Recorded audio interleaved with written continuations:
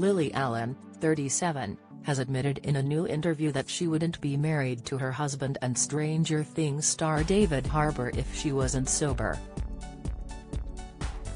In conversation with Glamour UK magazine, Lily has shared her belief that if she was still drinking alcohol, she may not be alive today. The Smile hitmaker said, Pretty much every aspect of my life has changed as a result of my sobriety.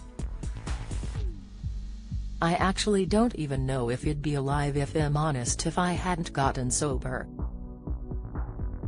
She also added how being sober changed her life immeasurably, leading to her relationship with David and a better future for her two children. The mom of two continued, I don't think he'd be married to my husband.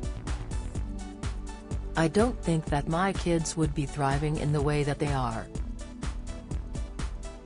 Lily has two children from her previous marriage to ex-husband Sam Cooper, Marnie, 10, and Ethel, 11.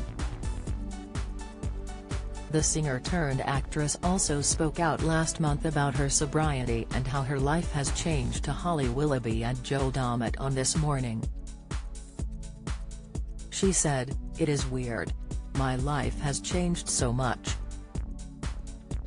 Tom Parker died without a written will leaving his wife only £70,000, Insight, braless Ashley Roberts suffers wardrobe malfunction in risque outfit, pics, Sue Radford enjoys best day as she shakes off daughter's claims, latest, M 4 years clean and sober, I have a new husband, we're sorting our lives out in America.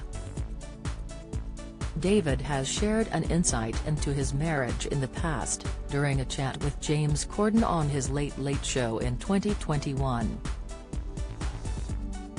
He quipped, she said, When I saw you, I saw the biggest person I had ever seen in my life and also the smallest person I had ever seen in my life.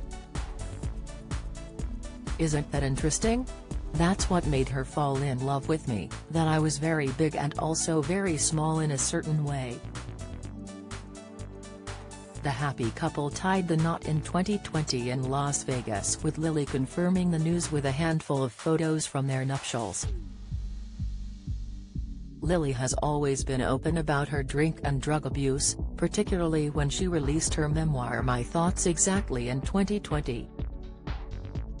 In 2018, she admitted to mistakenly snorting a line of ketamine at the Glamour Woman of the Year Awards in 2008. She wrote on Instagram at the time, someone gave me a line of what I assumed to be cocaine at the Glamour Awards once, but it turned out to be ketamine. I was thrown out, passed over some railings, of the Glamour Awards for being in a K-hole. Obviously I couldn't talk, or direct the driver so my assistant instructed the occupant of the car behind to follow the cab I believe the occupant was a chatty man I have no idea what happened next.